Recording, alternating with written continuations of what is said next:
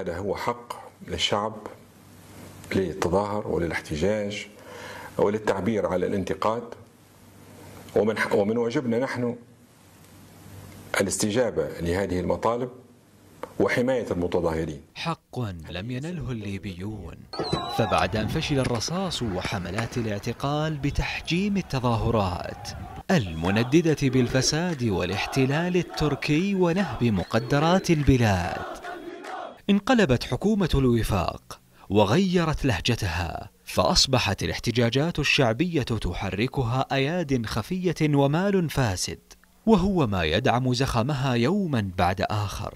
فبعد وصول الغضب الشعبي إلى عقر دار السراج ومحاصرة المحتجين لمقر سكنه بشعار ومطلب واحد وهو إسقاط النظام والمطالبة برحيله. تبدلت ادعاءات الدولة المدنية والحق المشروع وفرض حظر التجول الكامل لمدة أربعة أيام في محاولة لكبح جماح الاحتجاجات والتظاهرات. حظر لم يأبه به المتظاهرون. فهم يواجهون الرصاص وداخلية الوفاق تتنصل من مسؤولياتها سواء في حمايتهم أو الاعتداء عليهم الذي اتهمت به عناصر مندسة وكأنها لا تعرفهم وليسوا ضمن قواتها. وإذا كانت داخلية الوفاق لا تعرفهم فحراك الشباب أكد أن من فتح النار عليهم ميليشيات النواصي وباب تاجوراء والردع فيما هرعت مخابرات أردوغان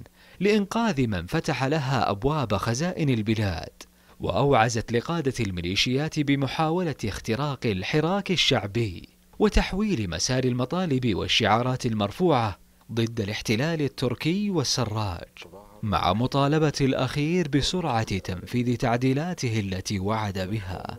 وعلى الرغم من فرض حظر التجول وقمع وخطف الميليشيات والمرتزقة للشباب الغاضب والإغلاق الكامل لشوارع طرابلس الرئيسة ما يزال الصوت الليبي الباحث عن حقوقه في حياة كريمة عاليا والمشاهد المستفزة بسيطرة مرتزقة جلبهم محتل إلى البلاد ينهب خيراتها على الملأ تنذر بموجة غضب عارمة لها ما بعدها.